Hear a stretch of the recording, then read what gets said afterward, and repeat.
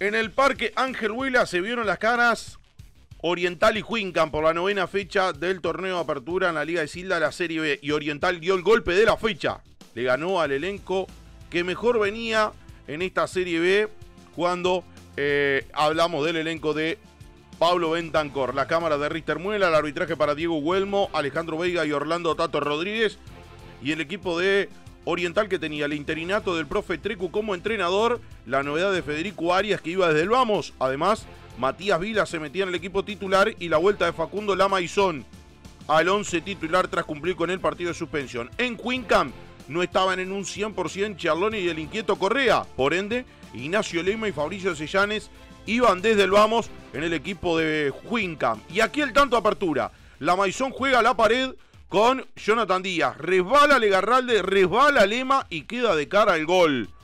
El goleador La Maizón, que cuando queda mano a mano con el arquero Luis Elguá Rodríguez, define muy bien, lo engaña al arquero y toca contra un palo para anotar el tanto de apertura. La Maizón y el gol que le dio el triunfo Oriental. No pudo hacer pie Legarralde, lo propio Lema, que rebala cuando quedaba mano a mano con el delantero y mano a mano quedó la Maizón con el Guá.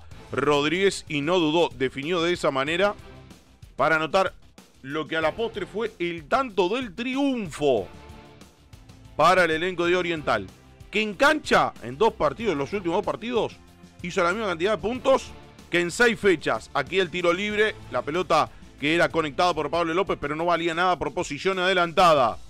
Arias con este envío cerrado y notable el Guar Rodríguez que se queda con una pelota que era de gol, o de Arias o de Díaz, que llegaba por el segundo palo. Notable el arquero. Sopi y el tiro libre. Pasado, largo, arriba al arquero, lo investigan. Había infracción, pero otorga ventaja el árbitro Diego Huelmo. Fabricio Sellanes que ubica a Dorta. Pelota en profundidad para él. Pastorino que espera que la pelota ingrese al área y Dorta le termina cometiendo infracción. Al experimentado arquero de Oriental. El lateral de Pintos para Mojarra Rodríguez, que elude Sopi, elude a Fagián.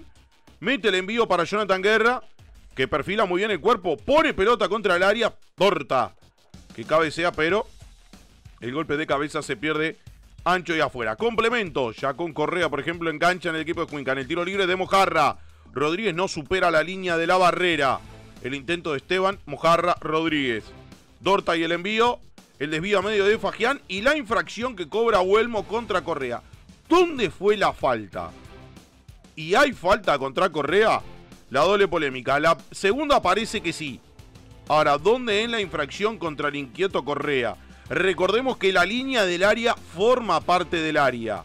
Y es muy, pero muy, pero muy fina realmente si es penal o no para el equipo de Huincan. Lo que tuvo es este tiro libre peligroso. Otra vez Mojarra ante el adelantamiento de la barrera. Pegan en el muro humano. Y luego en el segundo intento la pelota queda en las manos de Pastorino. Acá Sopi con el tiro libre. Se le escapa el Guar Rodríguez Melo y el cabezazo innotable Legarralde. Evita el segundo. Que era de Oriental. Centro cerrado que muere en las manos del Guar Rodríguez. Villar un envío pinchado. Charlone la juega al medio Carga Legarralde, la pelota que da en la mano de Legarralde y bien por el árbitro Huelmo. En sancionar la mano e invalidar el gol. Lo vemos nuevamente, Charlone ganando en la pelota aérea y la pelota da en la mano de el atacante como está atacando. No importa si viene de un rebote o viene de una segunda intención, el reglamento es claro, si da la pelota en la mano se debe invalidar la acción. Bien por Huelmo en ese sentido. El envío largo de Villar, el puñetazo de Pastorino, Guerra y el rebote. Y la pelota que se va por arriba del horizontal en lo que fue la última de la victoria de Oriental ante Huincan por 1 a 0.